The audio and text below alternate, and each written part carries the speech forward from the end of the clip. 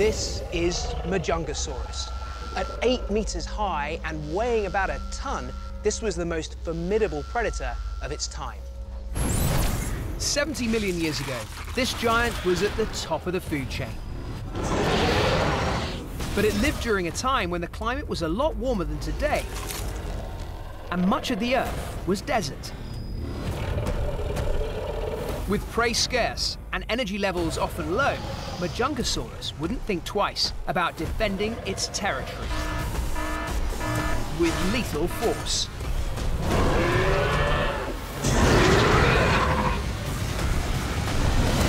And if you made the mistake of looking at his lunch, these bloody battles were inevitable to survive in this harsh environment. And it's thought this desperate behaviour eventually led to a gruesome secret skill.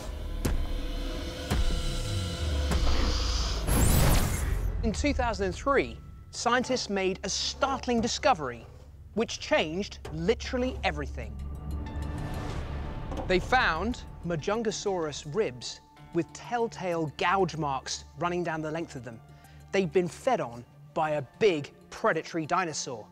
For years, the suggestion was that roaming out on the wastelands was something even bigger than Majungasaurus, which had killed and eaten it.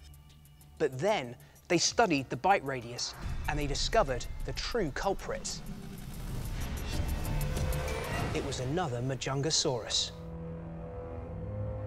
By lining up the bite marks on this rib with other Majungasaurus teeth, scientists could prove that this had been fed on by its own kind.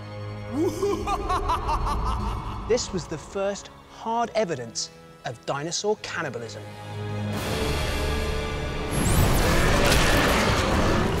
Cannibalism, deliberately killing your own species for food, is a desperate and dangerous survival strategy. Majungasaurus is one of a very few dinosaurs that were thought to have preyed on their own kind. Seriously?